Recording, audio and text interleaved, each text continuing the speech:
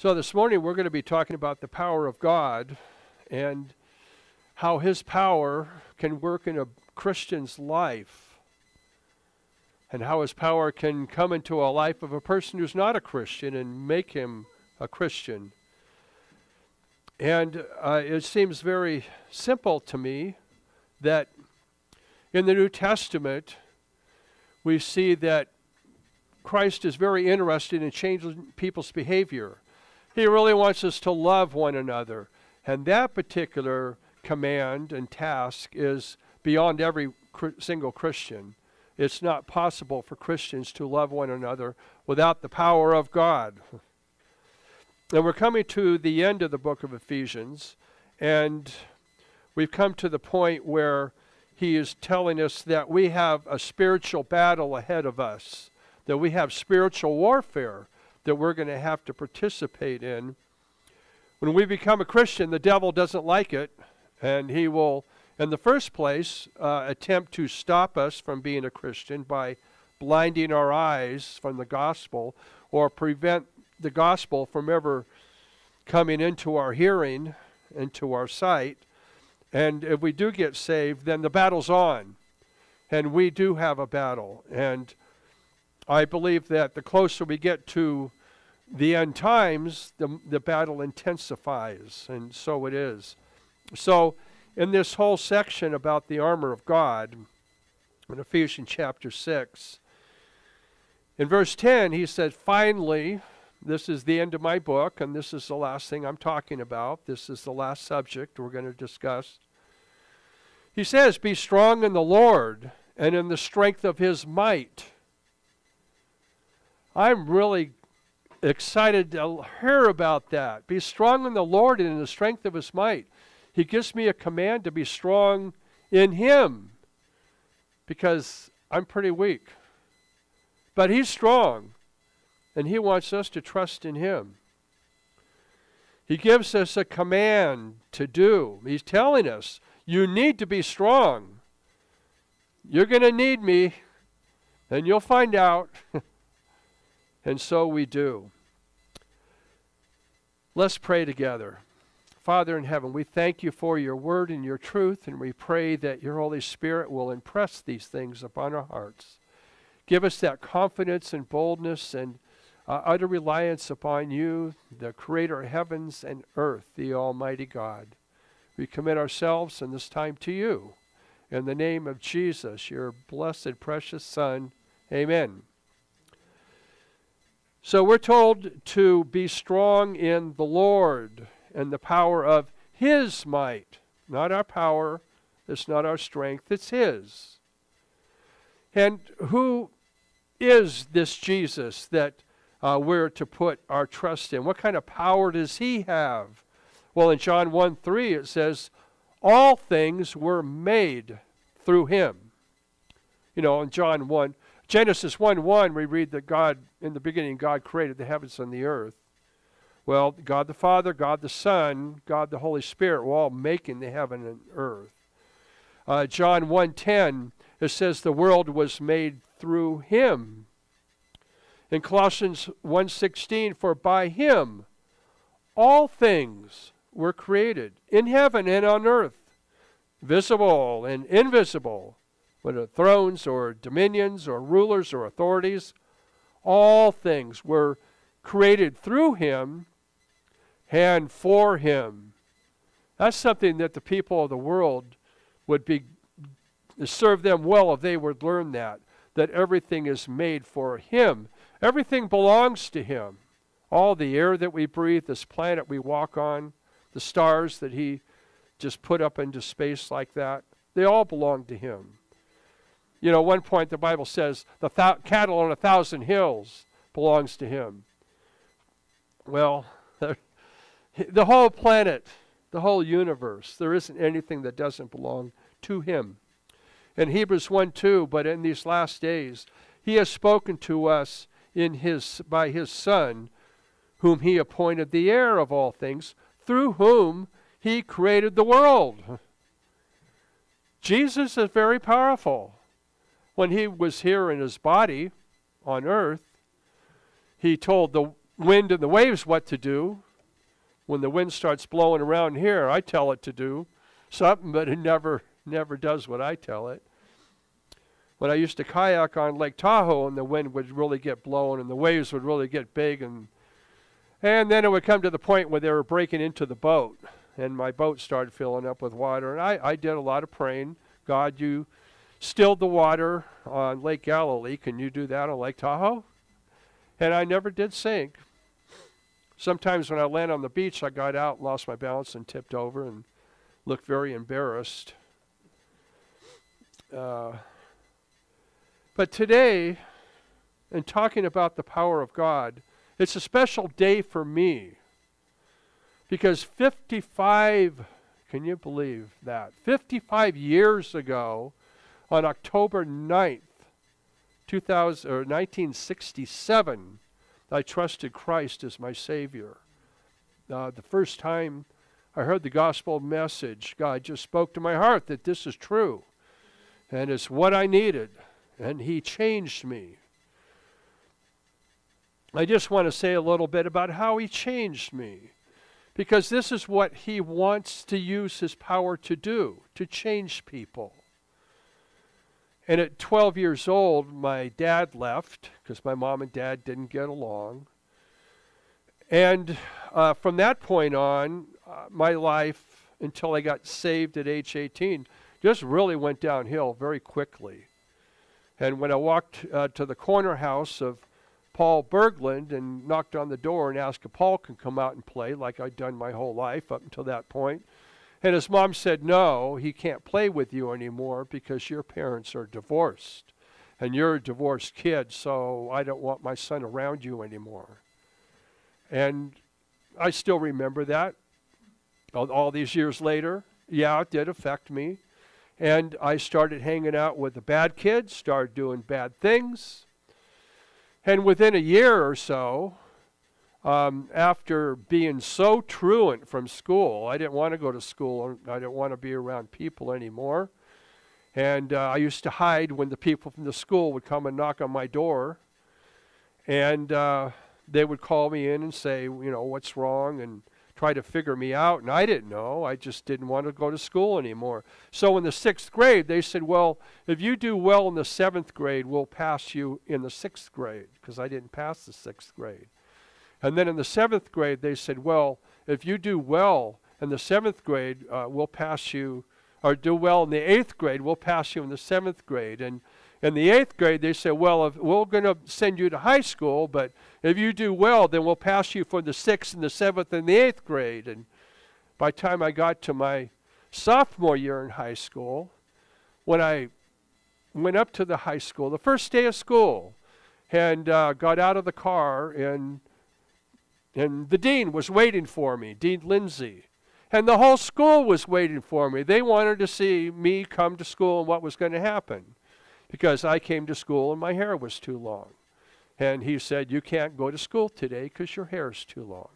And so he drove me over to Barbara Joe's and paid for my haircut and sat there while I got my haircut. And then he drove me back to school. And, and we had a pretty good relationship.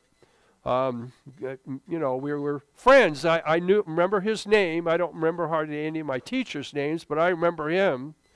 I remember the, the principal's name, Ada L. Peck, from my uh, elementary school days because I was in her office so much. I knew her better than I knew my school teachers.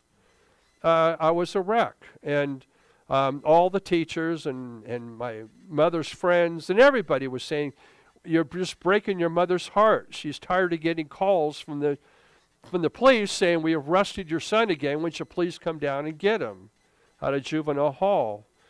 And I I could I never wanted to do the wrong thing. I just always did, and um, I would drink, and we would have parties, and uh, and then around a freshman or sophomore in high school, I started smoking dope and going to San Francisco and North Beach, and they they weren't hippies then; they were beatniks, uh, bohemian beatniks, and uh, hanging around in those places, and all the kids in high school thought I was, you know, crazy and and I guess I was.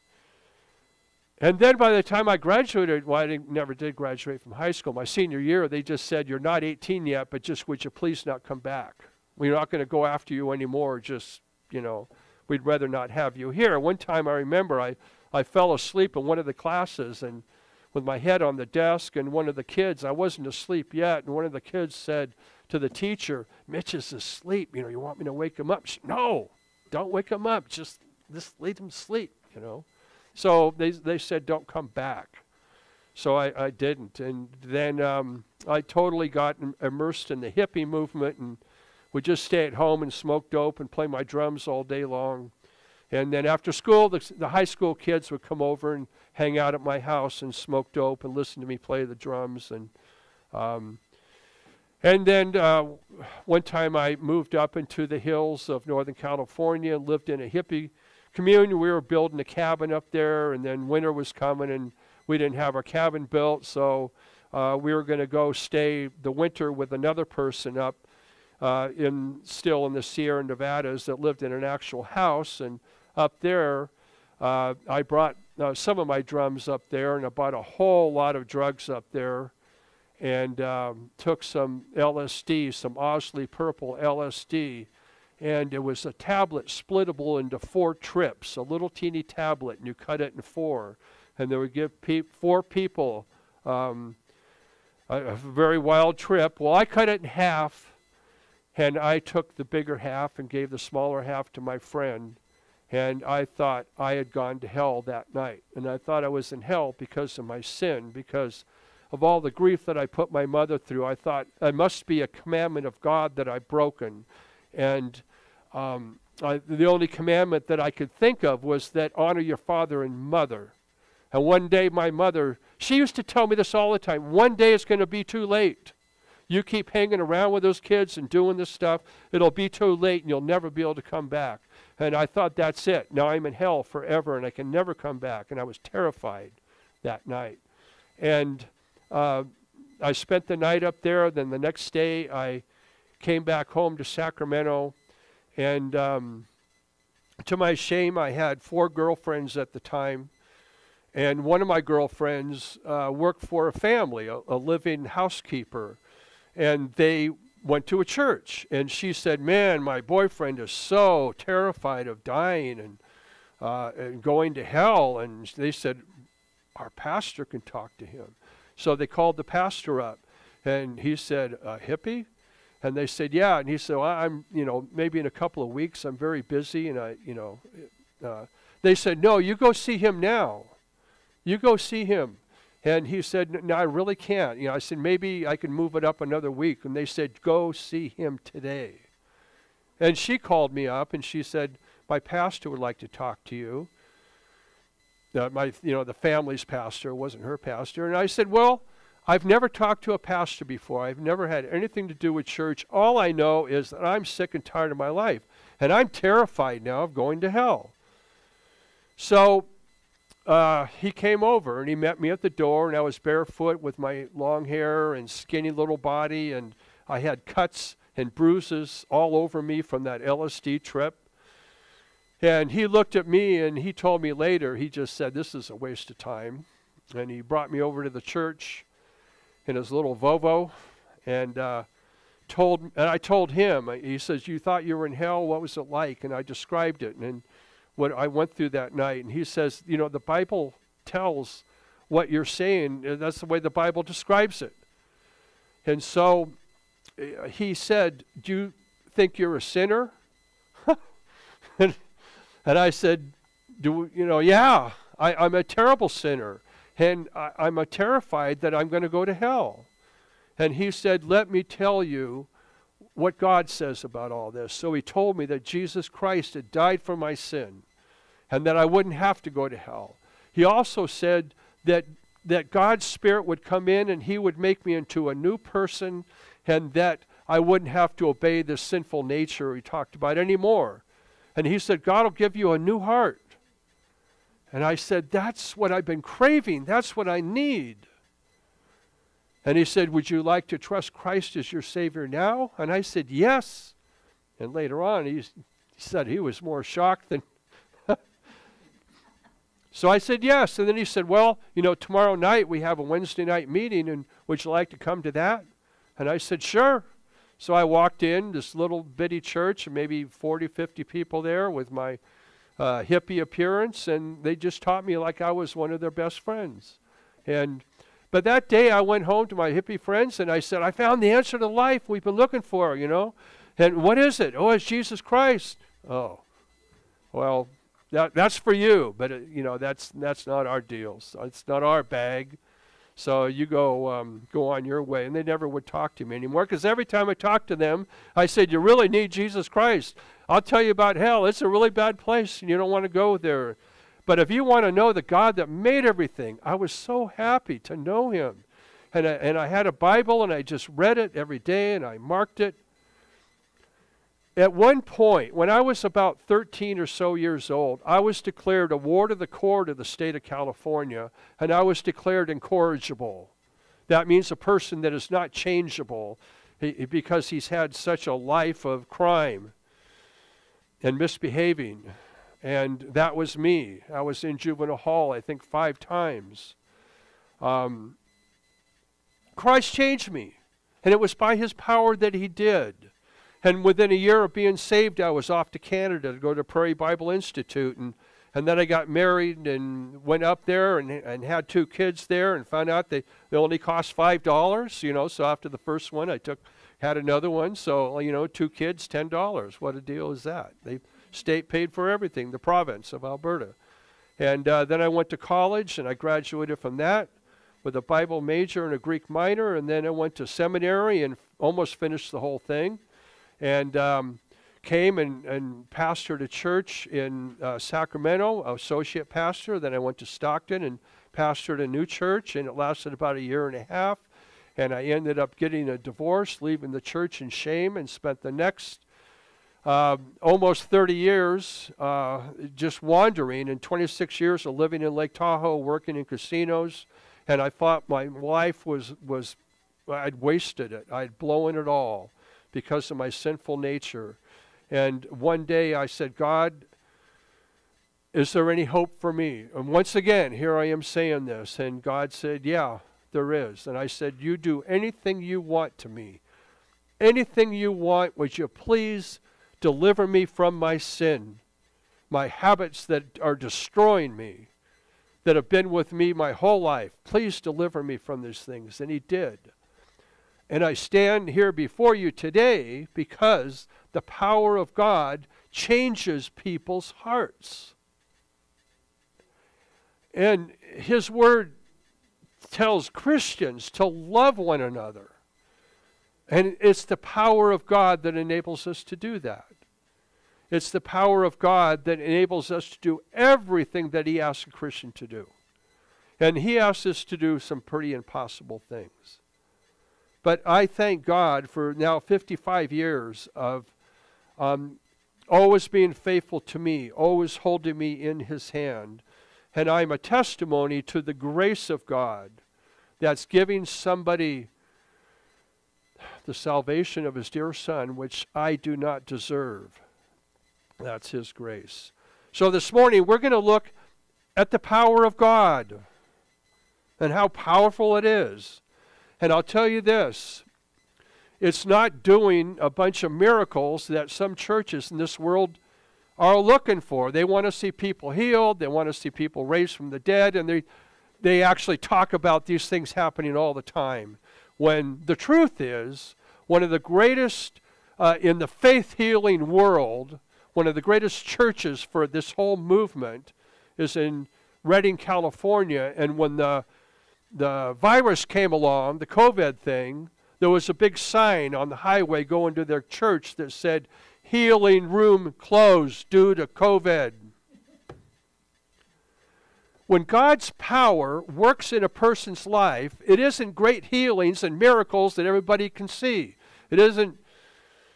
What it is, is I have learned to love that person, that other Christian before I could not stand that person. Or I was so self centered and obnoxious, none of the others believed.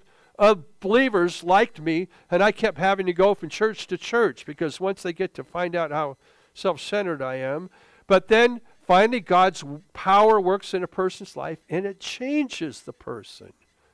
That's what in the, the epistles of Paul, he keeps saying, I'm going to tell you again, love one another. You read, the, read what John says in 1st, 2nd, 3rd John, love one another. And that means put up with one another. and we can only do that by the power of God. But we want to look at five different areas God's power in creation, God's power in these three words in uh, Ephesians 6:10, and then God's power in witnessing, God's power in walking and living this life, and God's power in my life. And the thing is, is that God requires things of us. His power can do anything in our lives. Everything that He asks us to do, His power can do it. Um, in the written word, in the beginning, God created the heavens and the earth. Uh, in the beginning, He said, Let there be light, and there was light. He speaks something, and all of the molecules and atoms that are necessary for that, they come into being. They're made out of nothing. He makes them. When He said, Let the earth have all of the grass and the trees and vegetation grow. When he spoke that, it happened all over the world. The whole uh, means of a plant staying alive with the sun and the leaves and all, the little parts of a flower and the photosynthesis that's necessary. Uh, a seed being in the ground when it gets to a certain temperature for a certain amount of time with certain amount of humidity all of a sudden it decides to pop up because god told it to and they will forever do that. And apple trees always have apples, and peach trees have peaches, and um, they got green grapes and black grapes and red grapes, and uh, and when they take the seeds out of them, they're all really, really good. Uh, everything that God makes is good, and and He just said it, and it happened. That's the power of God. When He made a place for human beings, and this is the only place in the universe and I heard again the other day, oh, they found a little speck that might be a speck of water on Mars. Well, human beings need water. So he put us on a planet, and what is it made mostly of? Water, because we need it. Why do people, including me, love to go to the beach or to the river or to the lake? We like being around water. What are we made mostly of? Water. God knows what we need. He, we need to breathe air, so He gave us a whole lot of it. The whole planet has air. It, uh, it's an atmosphere. It's all around it. The higher you get, the less there is, and finally it goes away. But where we live, we got air, we got water, we got gravity. It's a good thing because we're going really fast. The earth is like spinning around really fast. The whole thing goes around every 24 hours. And then the whole thing is moving around the sun every year, and it's going really fast. But gravity keeps here, and we don't even know it till you get drunk, and then everything say, "Oh my goodness, we're spinning." God is the Almighty God. He's so powerful, and it talks about Him. He, he makes stars, and evolution says that the way stars are made is, is that two stars come together and then they'll make another star. So, inquiring minds want to say, well, how did the first two stars get made if it takes two stars to come together? And the evolutionists don't know because their, their uh, theory is wrong. The Bible says that God made the stars. In Genesis 1, verse 16, he said he, he made all the, the sun and the moon and all of the stars up. And it just says, oh, and the stars. Oh, and the stars. I, I forget how many how many Earths can go inside of our sun, but it's a lot. Stars are very big. And when you look up at the sky at night, they're just these beautiful little twinkling lights. And if we were close to one of them, well, we wouldn't get very close before we burned up. They're enormous in size. And not only that, those little lights are light years away, millions of light years. Light travels at 186,000 feet a second. And in one year, of traveling 186,000 miles a second is one light year. Well, they are millions of light years away. So when we look, we just see these little twinkling pretty lights. In Psalm 8 3, uh, the psalmist says, When I look at your heavens and the work of your fingers, God made the stars with his fingers. And I want to know how he didn't get burned because they're really hot. He made them with his fingers. And it says that he set them all in place. When I was little, we used to sleep out in our backyard in the summertime at night, you know, tent and all that stuff. And we had a little campfire and we would cook our breakfast in the morning. But uh, when I went to sleep, you knew where the Big Dipper was. And when I, if I would wake up, you know, we didn't have watches and clocks and stuff. We were outside. And uh, you would look for the Big Dipper to see where it was. And where it was, say, oh, it's way over here. It must be almost daylight by now. You could always tell that. He made the Big Dipper. He put all the stars in place. And he did that 6,000 years ago, and they're still there. And you can still look at it and, and tell what time of night it is. In Psalm 19:1, he says, The heavens declare the glory of God. The sky above proclaims all his handiwork. This is like his handiwork. He made all the stars with his fingers. He's incredibly powerful. And, and then he asks us to do something in our lives, and we just say, God, I can't. I, you know, I'm, I hear this from the kids a lot. I'll ask them, I say, you need to change in doing that. And they say, I can't. And I say, you have to. You can do this. And they say, no, I can't. Well, if somebody so powerful as that living inside of you, then you really can. And in Romans chapter 1, this describes the people of all ages, but especially today, because today we have science. And science, there is only one real true science, and it's on the Democrat side. They have real science, but we don't. We just have fake science or no science. Well, here's what God says about science in Romans chapter 1, verse 18.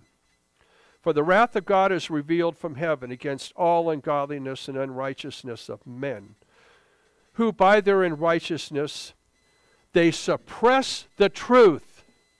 They don't want to face the truth, they suppress it. And we actually see that today. People that tell the truth on social media are banned. For what can be known about God is plain to them because God has shown it to them. What is He showing? What is so plain?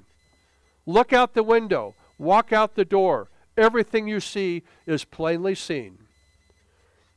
For His invisible attributes, namely His eternal power, His divine nature, they have been clearly perceived ever since the creation of the world in the things that they have that have been made. So they are without excuse. When they stand before God at the great white throne judgment and they say, Well, my science professor taught me that, there, that you didn't exist, they're not going to say that when they're standing before God. They'll say it now. They don't have any excuse, though, because they're denying the truth. For although they knew God, they did not honor him as God or give thanks to him, but they became futile in their thinking and their foolish hearts were darkened. The foolish said in his heart, There is no God. Claiming to be wise, they became fools. What do our educational systems of today? They all claim to be so wise, and we're so dumb. They exchanged the glory of the immortal God for images resembling mortal man and birds and animals and creeping things. Therefore, God gave them up says, okay, I've had it with you people. Carry on the way you want and face the consequences. They deny the power of God that created this heavens and earth. And when you sit at the beach on, on, a day that's like in the 60s, a little bit of coolish in the air, and the sun is 93 million miles away. And by time its heat arrives on my face, I say it's just right. Just perfect. And I feel nice and warm. Not hot, but just perfect. And they deny that. That happened by accident? Come on. no, it didn't. The written work, word, the record that we have in the Bible declares the power of God. And we need to have a written record because no one was there when he did it. The angels were created somehow before when the heavens and the earth were created. The angels watched God fill up the earth with the animals and the plants and the fish and the birds and human beings. And it says in Job that they applauded and they cheered when they would watch God make things. A beautiful scene of the angels singing praises to God when He made this earth. They see the power of God, and we do too. We see the power of God.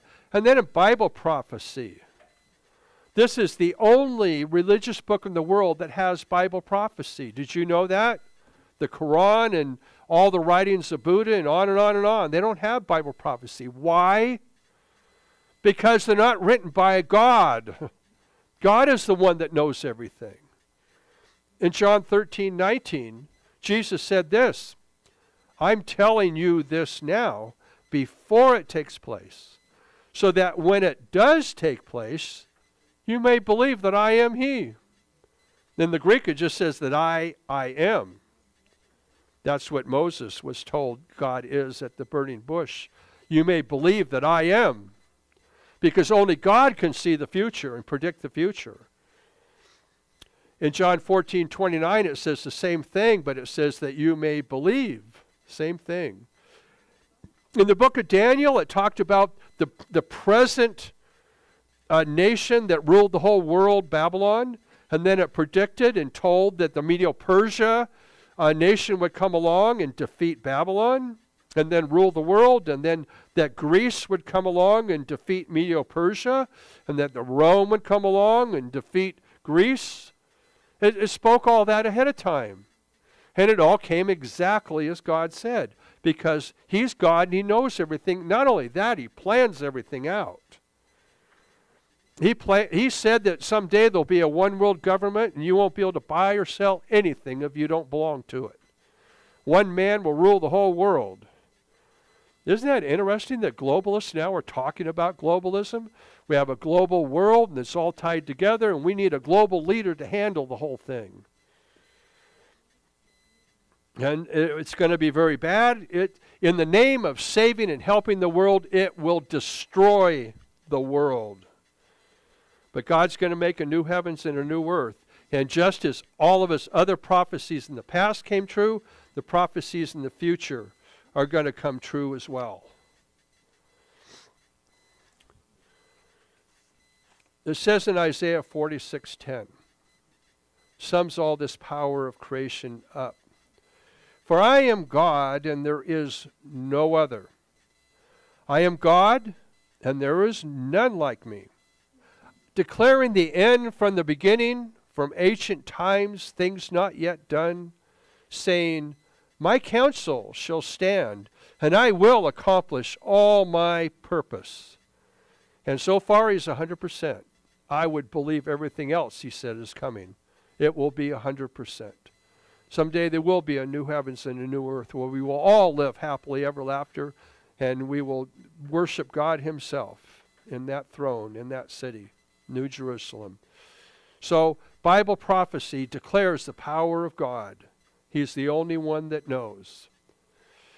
And then God's power in this verse, Ephesians chapter 6, he mentions three powerful words.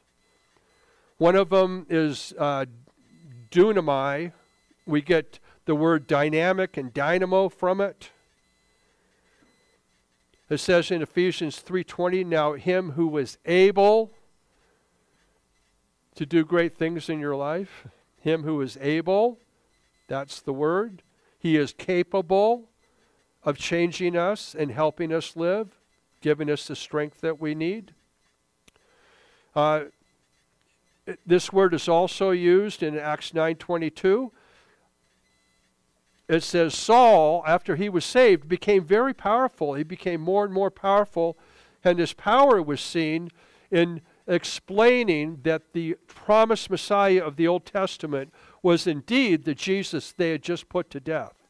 He proved that to them, and they were uh, confounded. The Jews were. They just, wow, this guy is powerful.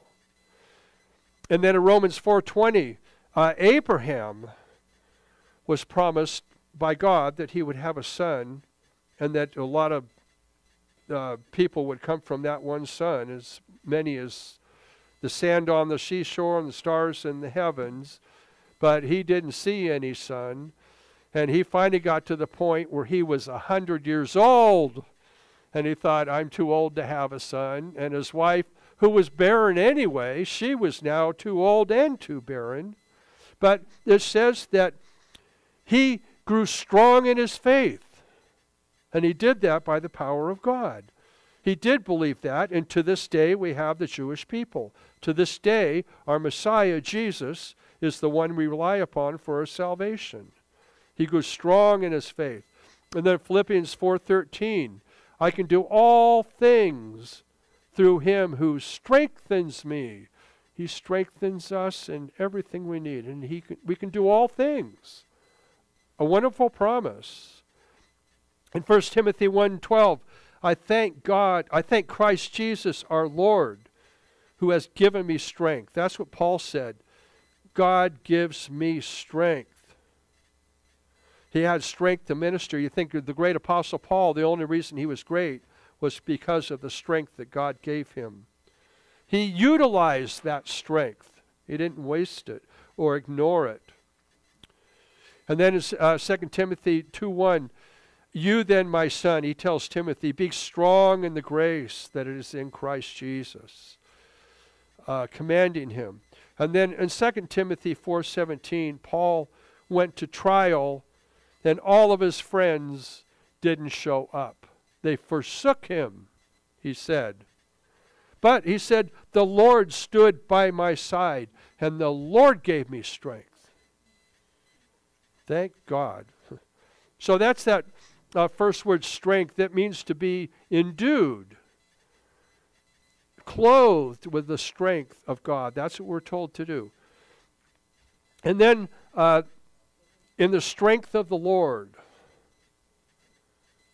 This uh, another Greek word in, in Luke 151 when Mary was going to have the baby Jesus and she was told by the angel that she would give birth and she says to the angel but I'm a virgin. I can't have a baby and I'm uh, engaged but we're not married yet. How is this going to happen? And the whole and uh, the angel says, the Holy Spirit will overshadow you. The power of the Most High will come upon you. And she said, okay, I'm good with that. And, and then she went on and wrote a song and says, He has performed mighty deeds with his arm. And then Ephesians 1 19 through 23, uh, Paul is praying that we would know how much strength and power we have. We need to know how much strength and power we have. Verse 19 of chapter 1. He wants us to know the immeasurable greatness of his power toward us who believe. How big is his power, his, his greatness? It's immeasurable. You can't measure it. And, and where does this power go? It goes to us. It's toward us, the ones who believe and it's according to the working of his great might. Every time he talks about all these strength words, he just puts one word next to another. A one word for strength, another word for strength, another word for strength. You get the idea. He says, I want you to understand that power of God is in you and can do incredible things.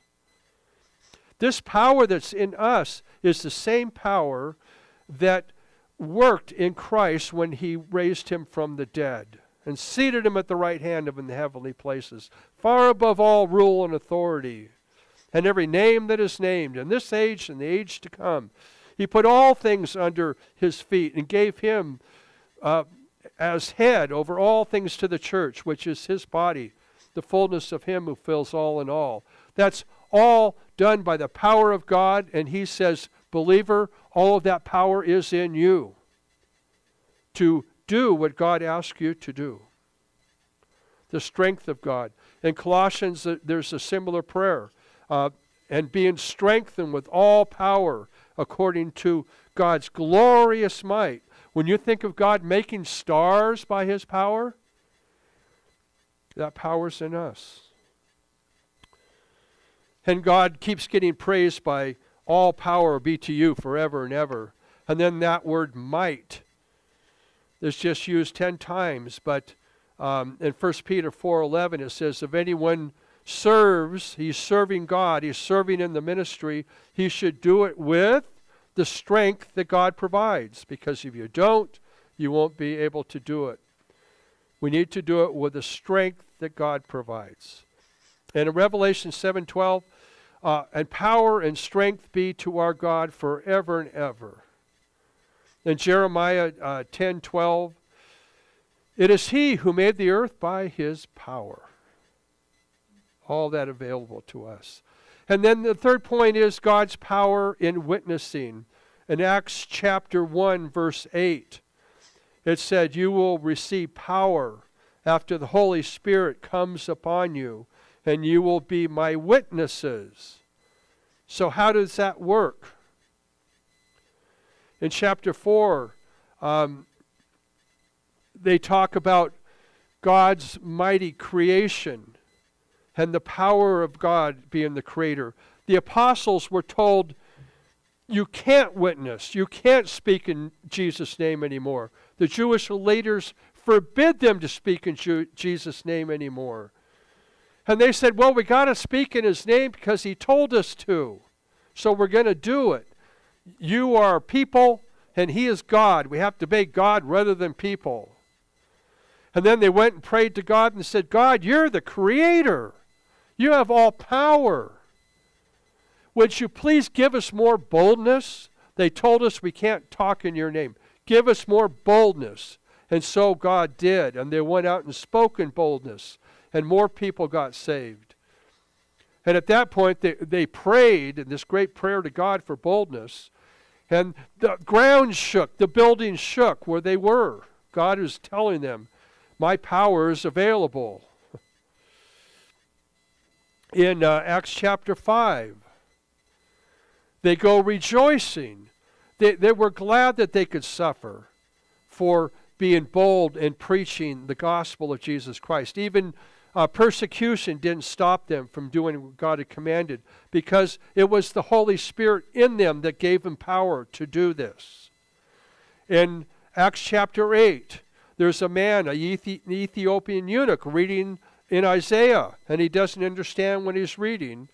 And that one person being saved is so important to God. He sends Philip there, and Philip goes and says, What are you reading? Well, I'm reading from Isaiah, where um, somebody, and I don't know who it is, but he's bearing our sins. All of our sins are cast upon him. Who is this? So Philip goes on the chariot and sits with him and tells him well, this is Christ that was just crucified in Jerusalem, and he was the one that was talked about there. The Ethiopian eunuch gets saved, and then he's baptized, and it says that Philip got beamed up. God just took him by his power and put him somewhere else and said, Now witness over here. All by the power of God. God knew somebody needed the gospel, and Philip didn't know, but God brought him there. It's all the power of God. And then Paul and Silas, after being thrown in jail, were singing. And uh, all the prisoners heard it, the guards heard it, and there was a huge earthquake, and all the doors opened, and all the prisoners, prisoner guard, head of that prison, thought, oh my goodness, I'm going to be put to death. Everybody escaped. And Paul said, no, we haven't. And right away, this guy says, what do I have to do to be saved? I want what you guys have. And they shared the gospel. Believe that Jesus is your Savior and you will be saved. And so he did, and his whole family. And then when Paul was on, this on that ship going to Rome, and it took months and months and months uh, on several different ships, but they were finally on the one that was going to shipwreck, and they were all going to die, and they threw everything overboard. The wind was so strong that the ship was being blown, and they couldn't stop it. But an angel appeared to Paul that night, and the angel of the Lord says, Everybody on the ship will be saved if you do what I say. And the ship will be lost. But, and all of his cargo, they already dumped all the cargo, and he says the people will be saved. And he told the people, I was taught by an angel of my God, whom I serve, that we will be saved. We just cannot leave the ship. Stay on the ship until we crash on the rocks grab a hold of whatever you can, make it to shore. And they did. And every single person was saved because he trusted in the power of God. He was convinced that God would do what he said. And it came true. So the power of God in witnessing, and he was a witness to the guards, to the people on Malta where he landed, and then he went off to Rome to be a witness to people there. And then, uh, fourthly, God's power in walking, in living. Uh, a very important verse to know is Galatians chapter 5, verse 16. In Galatians 5, uh, verse 16, it says that we are to walk by the Spirit, by the power of the Spirit. We are to live by the power of the Spirit. And when we do that, we will not carry out the desires of our flesh.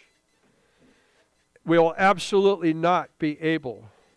That's two nots in a row. You will not not be able. In English, one not cancels out the other. In Greek, one not strengthens the other. And it means that if you walk by the power of the Spirit, when the desires of the flesh pop up, you do not have to obey them and you won't obey them. If you don't want to walk by the power of the Spirit, then you will end up obeying them, even if you're a believer. But I guess this is a point that really needs to come across very strongly, very forcefully. God said, All the power in me, that is the creator of heavens and earth, if you trust in my power when temptation comes, when your flesh wants something for itself, when your mind starts lusting or looking at something it shouldn't, and you're thinking of thoughts you shouldn't, and, and you've had struggles with this all your life, maybe. That if you trust in God's power, you don't have to give in to those things anymore.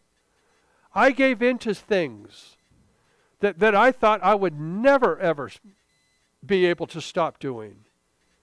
I was convinced I would never be able to stop doing them until I said, God, you are powerful enough to stop me from doing it. I don't know how you will stop me, but I know that you are powerful enough to do it. I want to live by the power of your Spirit. And God did. I trusted in the power of His Spirit, and I trust in it every day, all day long. God can do things in us that we never thought could be done. We know ourselves. We know what goes on inside of our heads.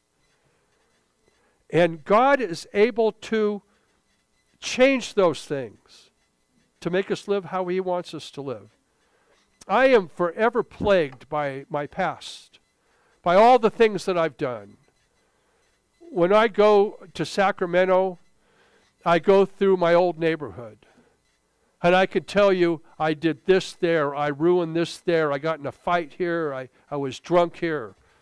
And, and Satan just uses that to say, you really should not be in the ministry.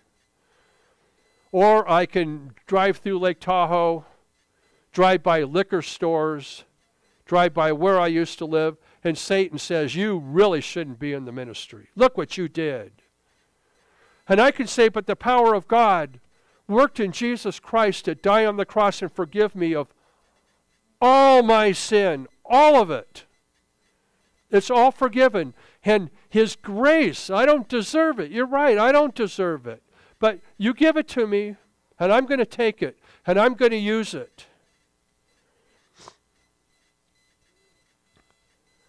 So now I have a life where I can stand in front of people and proclaim the Word of God. Now I have a whole new set of kids that I can teach the Word of God to. And, and my birth set of kids, I, I talk or text to them to try to often, more often now than ever, and, and proclaiming the Word of God to them. And, and my two birth kids were, um, uh, they saw me at my worst. Well, they didn't see me at my worst because I hid in my house and they didn't see anything, thank God. Uh, the things that I find now just utterly repulsive that I participated in. They saw me and I can be around them now and feel like uh, a person, feel like a man of God, feel like I have something to share with them because God has changed me by His power. And we look in Ephesians in Paul's prayer for them. They have the power of God in them. Each one of us have the power of God in them. And why? Because we have the Holy Spirit in us. And that's that. And Paul prays for these Ephesians. You know that he was a pastor here in this church for a few years? That he led these people to the Lord? He taught these people? And that Timothy went and pastored at this church in Ephesus? And what does Paul do? These, these believers that, that had grown up under the teaching of Paul. In chapter 1, verse 15, he says, I am praying for you people. And then you get down to verse 19, he says, I'm praying that you know the immeasurable greatness of the power of God. I want you to know the power that's inside of you so you can use it to live for Him. And, you know, we're told that we only use a small percentage of our brains, some less than others. uh, sometimes I uh, feel rather stupid and I think I'm just using a little bit. I need to use more. But how much of the Holy Spirit's power are we using? We get used to our sins and the things that we know that God doesn't want us to do. But you know, with His power, it's all there. It's all available for us to do exactly what He wants us to do. And just as His power is there, His mercy is there, His love, His patience that puts up with us. And he, he, he wants us, though, to keep changing, to keep growing, to be more like Himself. So, in our lives, we can walk and live for God because of His power. In Ephesians chapter 3, verse 20, Paul says, Now to him who is able, and that's this word dunamis, dynamic, dynamo, God is able to do far more abundantly than all we can ask or think, according to the power that is at work within us. To Him be the glory. You know why? Because it's all about His glory. When there's things in my life that I can't change that I know He requires of me, I can trust in His power that is in me. I can say, God, I know this is something that I just am not good at and it's something that has plagued me forever. Would you please help me to see your power work? So, God, that's as far as I can think right now. as I know facts, but I don't see them in my life. God is more than abundant to do far more. This is a place where He adds far more. I can do it all Whatever you think, I'll go beyond that. That's what God does in our lives. He wants us to know His power. Paul's praying this to people that he taught. God, please help them to know how powerful you are inside. Because Paul learned how powerful God was inside. When you honor God and ask and trust in Him, He honors that. So, um, the truth is, and we'll find out in our business meeting next week, is that this church has not taken in enough money to pay for its month expenses in a few years now. So now we have this ministry of having kids come here. And the kid, the parents are having to pay. And some parents said, I can't send my kids there anymore because I can't pay it. Too expensive. So we said, any parent that cannot pay and wants their kids here, the church will take up that amount and pay it for you. Well, how are we going to do that when we don't even take enough money to make our monthly expenses every month, year after year? Because as a church, we decided to trust in God. That God will pay this money. Besides that, there, there is money there, but our savings just goes down. But God put it there. So does God bless this? Well, there's only so many kids that are allowed to come here because it's small. And we're already there. And now other people are popping up and say, we want our kids there. We've seen what it does. We want them in that ministry. And, and something we need is a place for these kids to play. So some of the parents, after we said, God, we're trusting you, some of the parents said, we want to put a playground down here and put in sod. How expensive is first class Kentucky bluegrass sod? Well, it would just be about $1,500. So we said that if people want to do that work, and I think that's the right thing, let's do that. And then right away, somebody pops up, and I don't know who, and they said, Well, we want to pay that $1,500. Okay. If we wouldn't have trusted in God, we wouldn't have had the $1,500. And then they go to buy the sod, and it's for some kids and for a kid's playground at a church, and they say, "Well, we don't want to charge you the 1600, we want to charge you 800." Half. So now the parents working on this say, "Well, that gives us another 800 to put more stuff out there." Excuse me him who was able to do far more abundantly, exceedingly beyond. And they've already said, once we get that part, we'll start going down that way. And God keeps providing for that. You trust in God and trust in His power and see what He will do. So, wow. And then who gets the glory? We don't. He does. He gets all the glory because He does everything. Yeah.